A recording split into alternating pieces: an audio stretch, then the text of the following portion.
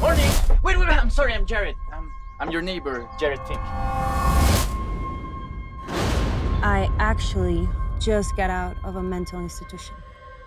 I keep seeing something, someone. Like a ghost?